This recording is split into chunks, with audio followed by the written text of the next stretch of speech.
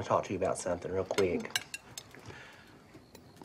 I wanted to take this time to say that we're going to be under a lot of media scrutiny.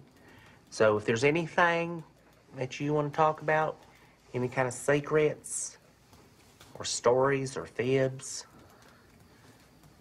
now's the time to put it on the table, okay? And if you tell me, if you tell me and your mom, we're not going to be mad. I said the Lord's name in vain at school. Mm-hmm.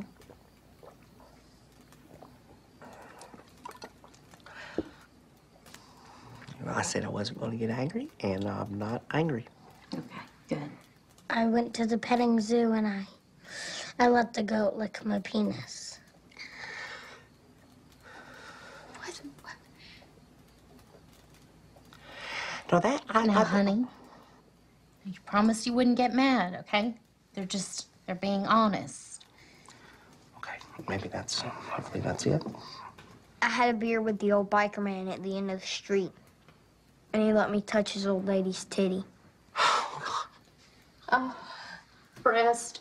I go to the mall and hide in the stairwell and take photos of women's skirts. I have a whole book of cooter shots under my bed. One time I put a firefly in my butthole Why? to make my farts glow. Oh, God.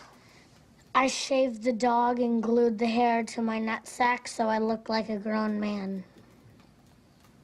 Oh, I touched myself to Drew Carey on the price right.